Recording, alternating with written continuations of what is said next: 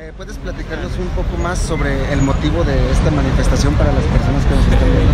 Sí, la, la idea es invitar un poquito a invitar a toda la gente eh, que se una, que se venga, que se una al colectivo, que si gente nos está viendo ahorita, que se vengan, vamos a ir marchando, vamos a ir caminando hacia la fiscalía, vamos a dejar una hoja en donde le queremos pedir al, al fiscal de la zona A que nos entregue, pues que nos dé respuestas a nuestros casos ¿no?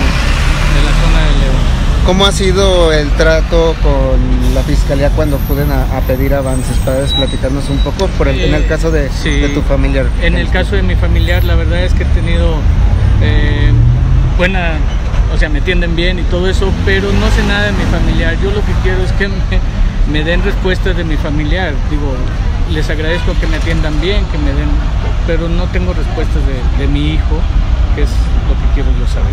Ya lo veo. ¿Cómo es que tú te sumas a este colectivo? Yo me sumo en el mes de octubre al colectivo en la ciudad de Irapuato por un interés particular sobre mi hijo, pero también por un interés de, del colectivo, de que esto no tiene que estar pasando, esto no puede estar sucediendo y cada vez está creciendo más. Y vemos en la gente mucha gente de León Apatía, los quiero invitar a que vengan, a que no sean apáticos, a que se junten, a que se sumen, a que hagamos de este colectivo algo que sume y que pueda ayudar incluso en un momento dado a, nuestras autoridades. Oye Armando, ¿y cuál sería pues tu percepción sobre pues la Fiscalía General del Estado al momento de realizar las investigaciones? ¿Qué, qué te perciben estas más de 2.000 personas que hay según los registros Pues oficiales? me percibe que, que falta mucha eh, profesionalidad en, en la gente que, que está en la fiscalía y que no sé qué esté pasando, que, que no tenemos resultados, tenemos resultados de, de nuestros desaparecidos, porque ya no son no localizados, ya son desaparecidos.